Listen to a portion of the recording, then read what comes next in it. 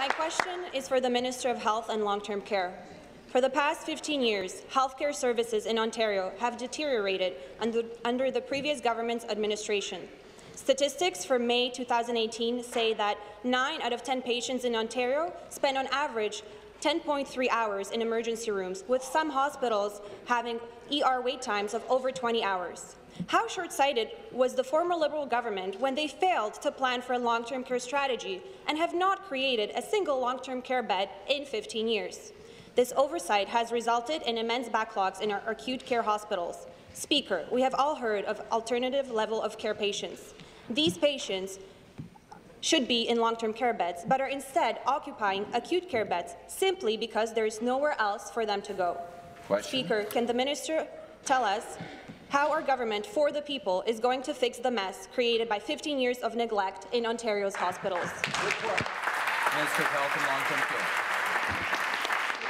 Speaker, and thank you to the member from Mississauga Centre for your question. The member is quite right that we are facing a healthcare crisis in this province, in large part driven by a long-term care crisis due to the long-term inaction of the previous government. We know that many hospitals across Ontario are consistently operating at over 100% capacity, and that is simply unacceptable for both patients and our frontline healthcare workers who are trying to work with them. We also know that one of the ways to address hospital overcrowding is to enhance supports for patients outside the hospital. That's why our government has committed to adding 15,000 long-term care beds over five years and 30,000 long-term care beds over 10 years. Addressing the high alternate level of care rates through a focused long-term care strategy reducing unnecessary emergency Response. room visits by providing better community supports, and finally introducing a comprehensive and connected mental health care system are just some of the ways our government is committed to fixing this mess and getting patients Thank you. Supplementary. By the Senator. Speaker, back to the minister.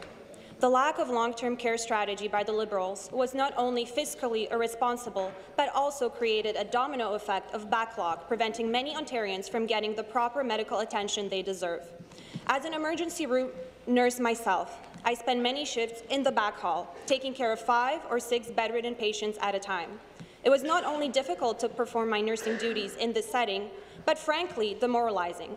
Patients wait for hours or days in designated hallway beds to get proper treatment without dignity or privacy. Speaker, our healthcare professionals, nurses, doctors, and other hospital staff work in this environment, trying to help patients in hallways, which is impacting their own mental health and burnout rates. A hallway is not a place of work, and it definitely is not a place of healing. My question is simple. What will the Minister of Health and Long-Term Care do to put an end to hallway nursing in Ontario? Minister of Health and Long-Term Care. The member is right. I'm sure we could agree on all sides of this House that treating our loved ones in hallways and storage closets is not acceptable. And that's why our government has been clear. Ending hallway medicine is one of our key priorities, and we will deliver. Again, to start, our government has committed to building 15,000 long-term care beds over five years and 30,000 beds over 10 years, which will help alleviate some of the pressures. We've also committed to finally and fully developing a mental health and addiction strategy to give patients the ability to access supports outside the emergency room and before they are in crisis.